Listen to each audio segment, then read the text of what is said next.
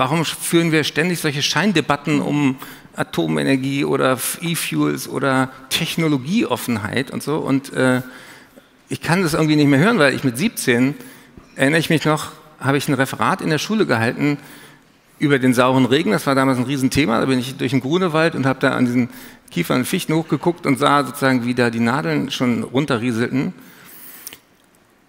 Und in dem Referat haben wir auch gesprochen über den Nutzen von Tempolimit. Und das ist jetzt bald 40 Jahre her. Und irgendwie habe ich so ein Déjà-vu. Und ich frage mich auch, was haben wir in dieser Zeit äh, versäumt? Woran lag das? Was war das Missing Link auch in der Kommunikation? Mhm. Und warum müssen wir immer noch Verkehrsminister ertragen, die sagen, wir müssen mehr Autobahnen bauen, um CO2 zu sparen?